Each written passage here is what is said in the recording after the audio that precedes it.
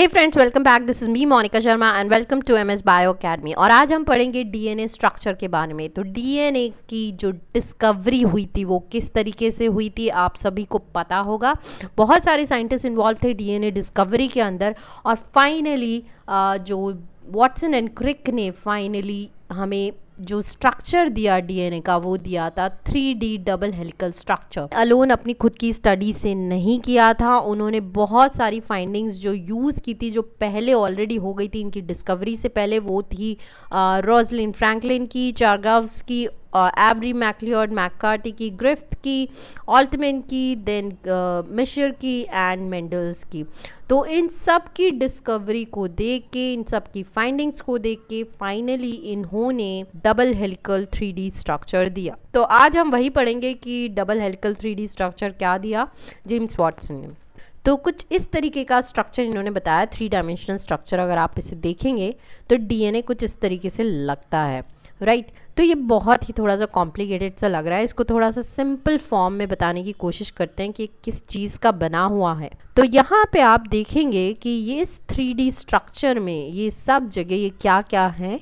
यहाँ पे आपको मिलेगा ये फॉस्फेट ग्रुप देन यहाँ पे ये शुगर वाला, ये शुगर बेस है pentose sugar is present okay and this is the nitrogenous base तो अगर मैं इसको अगर मार्क करूँ तो ये क्या हो जाएगा आपका? ये एक यूनिट हो जाएगी क्या ऐसी दूसरी यूनिट ये हो गई, ऐसे तीसरी यूनिट ये हो गई, ऐसे फोर्थ यूनिट ये हो गई। इसी तरीके से ये सारे यूनिट्स एडेड हैं। तो ये सब यूनिट्स क्या हैं? इन्हें बोलते हैं न्यूक्लियोटाइड तो यहाँ पे होता है एक तो phosphate group then pentose sugar which is जहाँ पे डीएनए में प्रेजेंट होता है डीऑक्सी शुगर और एक होता है नाइट्रोजनस बेसिस तो क्या होते हैं? सब डिटेल में बढ़ेंगे डोंट वरी ज़्यादा मत परेशान हुई है ठीक है?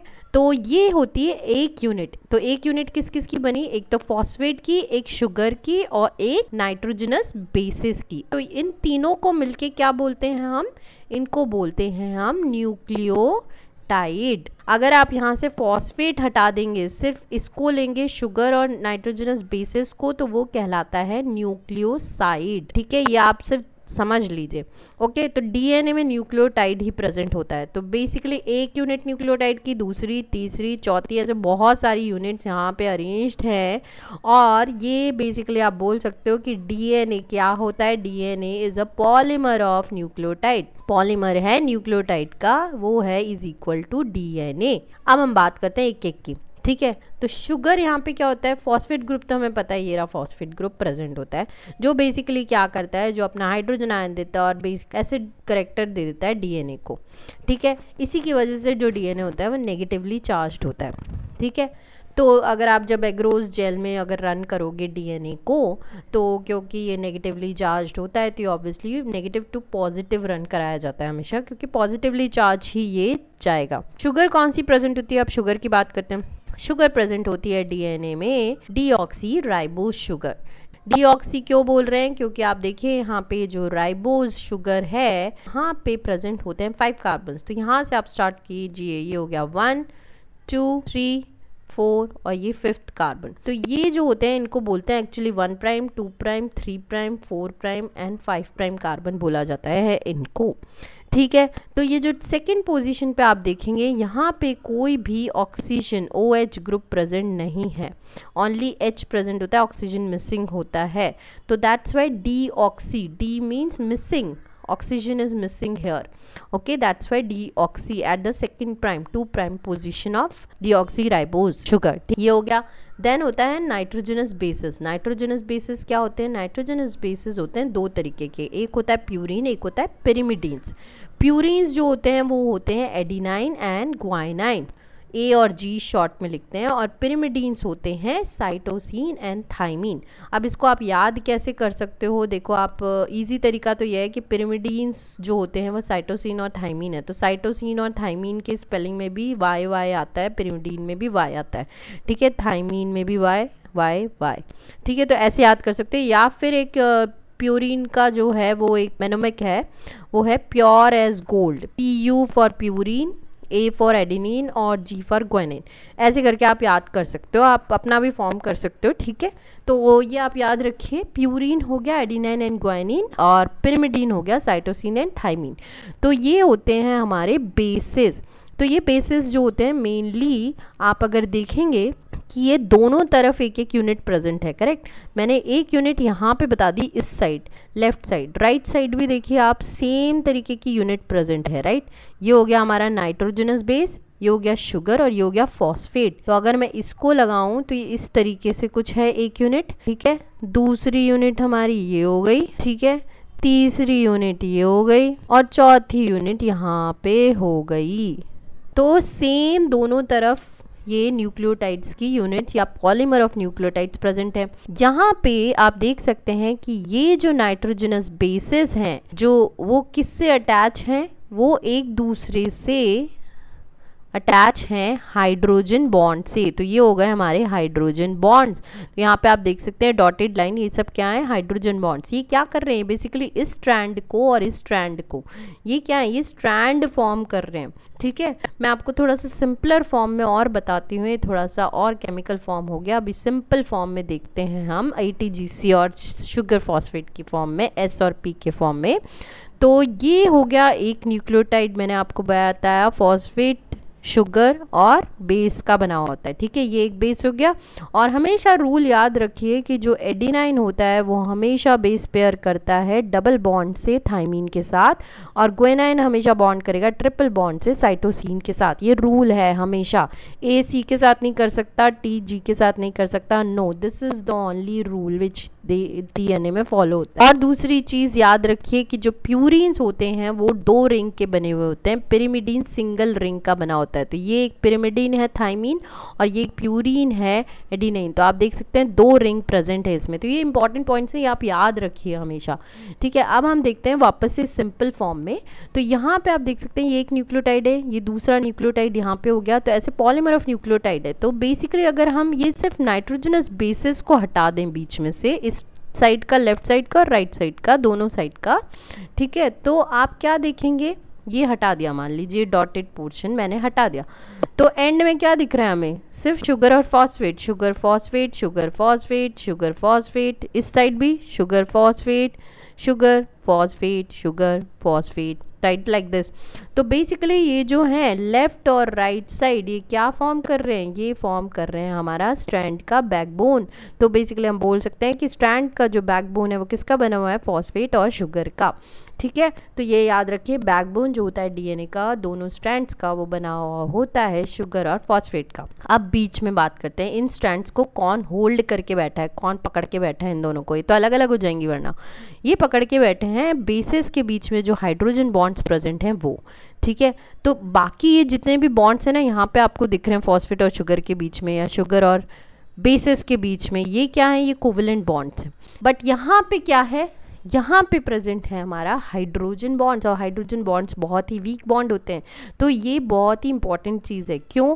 क्योंकि जब डीएनए का रेप्लिकेशन होता है तो ये इनको तोड़ना होता है, क्योंकि दोनों स्ट्रैंड्स को अलग होना होता है, ताकि इस स्ट्रैंड की इंफॉर्मेशन जो है, ये जो बेसिस की इंफॉर्मेशन है, इसके रेप्लिकेशन होके एक कॉपी बन जाए इस डीएनए की ठीक है? तो उसके लिए हाइड्रोजन बॉन्ड्स को तोड़ना पड़ेगा तो दैट्स वाई इनको वीक होना बहुत ज़रूरी है तो that's why hydrogen bonds present होते हैं बेसिस के बीच में। हमेशा याद रखिए ग्वाइनिन और साइटोसिन के बीच में तीन हाइड्रोजन बॉन्ड्स होते हैं और एडीनाइन और थाइमिन के बीच में दो हाइड्रोजन बॉन्ड्स होते हैं। इन्हें कहते हैं हम बेस पेयर्स ठीक है? ये हो गए बेस पेयरिंग रूल है ये बेस पेयरिंग रूल था जो मैंने आपको बताया राइट right, ये हो गया अब एक और चीज़ आप इसमें ध्यान से देखिए। यहाँ पे आप देख रहे हैं कि इस पोजीशन पे कुछ मैंने थ्री प्राइम एंड लिखा है, यहाँ पे मैंने लिखा है फाइव प्राइम एंड तो इसका क्या मतलब हुआ?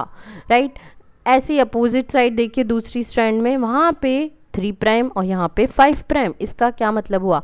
हमेशा जो भी नेक्स्ट न्यूक्लियोटाइड जो मैंने बोला ये जो न्यूक्लियोटाइड है, ये अगर नेक्स्ट न्यूक्लियोटाइड जो भी ऐड होगा, मान लीजिए ये एक न्यूक्लियोटाइड है और ये जब ऐड होगा नेक्स्ट न्यूक्लियोटाइड नेक्स्ट न्यूक्लियोटाइड हमेशा कहाँ ऐड होता है? हमेशा ऐड होता है वो थ्री प्राइम आप यहाँ से काउंट करना चालू करिए, ये हो गया one two three four and fifth carbon right ऐसे इसका देखिए one two three four fifth carbon right तो आप देखेंगे कि हमेशा at the three prime end हर बार थ्री प्राइम एंड पे जो है वो नेक्स्ट न्यूक्लियोटाइड ऐड हो रहा है, ठीक है? इसके थ्री प्राइम एंड पे शुगर के नेक्स्ट न्यूक्लियोटाइड ऐड हो रहा है इसके थ्री प्राइम एंड पे नेक्स्ट न्यूक्लियोटाइड ऐड हो रहा है। हर बार थ्री प्राइम पे ही ऐड होगा फाइव प्राइम पे नहीं ऐड होगा। सो so, इस एंड को जहाँ पे न्यूक्लियोटाइड ऐड होता जा रहा है उसको बोल रहे हैं हम थ्री प्राइम एंड और जहाँ पे जो अपोजिट एंड आ गया है उसको बोल रहे हैं हम फाइव प्राइम एंड क्योंकि यहाँ पे देखो आप one two three four five fifth carbon आ रहा है एंड में राइट right? तो this is five prime end तो एक अगर थ्री प्राइम हो गया तो दूसरा फाइव प्राइम हो जाएगा ऐसे ही दूसरी स्ट्रैंड में देखो, दूसरी स्टैंड में भी यहाँ से अगर आप स्टार्ट करोगे one two three four five right तो थर्ड कार्बन पे ही हमेशा नेक्स्ट न्यूक्लियोटाइड ऐड होगा राइट right? तो ये हो गया हमारा थ्री प्राइम एंड यहाँ पे देख लेते हैं दूसरे में one two three four five three prime पे ही न्यूक्लियोटाइड ऐड है राइट right? ये एक न्यूक्लियोटाइड है राइट right? ये कहाँ पे ऐड है थ्री प्राइम ऑफ़ द पहले वाले के न्यूक्लियोटाइड पे।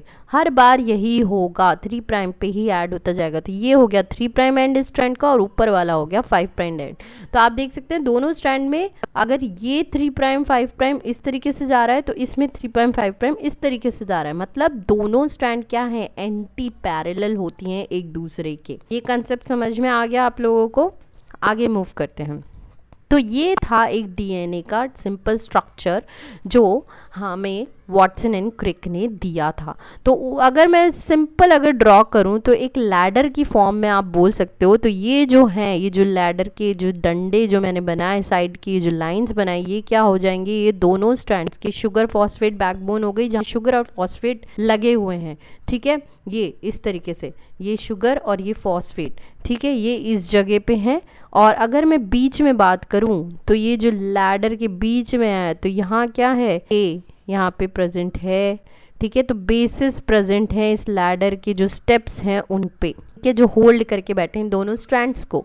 इसको अगर आप ट्विस्ट कर देंगे तो कैसा लगेगा? इस तरीके से। तो ये डबल हेलिकल जो थ्री डायमेंशनल स्ट्रक्चर था, वो दिया था वॉटसन एंड क्रिक ने अब हम कुछ पॉइंट्स हैं वो जॉट डाउन कर लेते हैं जल्दी से।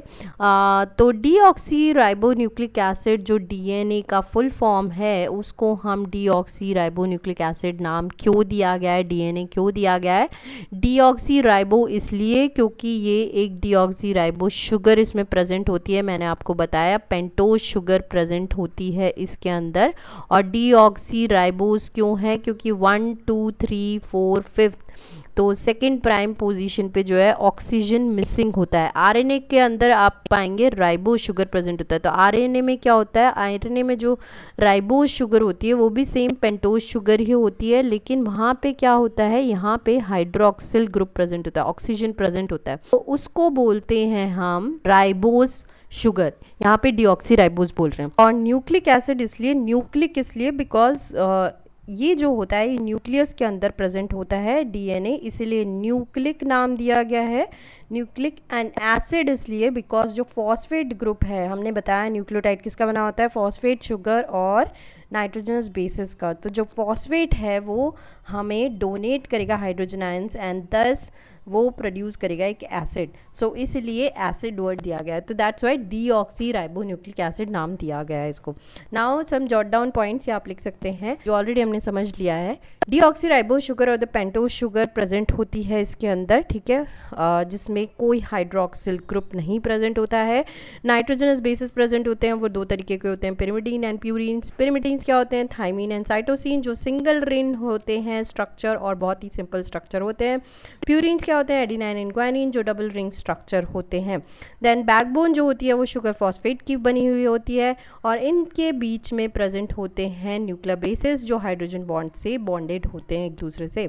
डीएनए स्ट्रैंड जो होती है वो हमेशा एंटी पैरेलल रन की थ्री प्राइम से फाइव प्राइम डायरेक्शन में। नेक्स्ट न्यूक्लियोटाइड जो है वो हमेशा ऐड होता है थ्री प्राइम एंड पे ही।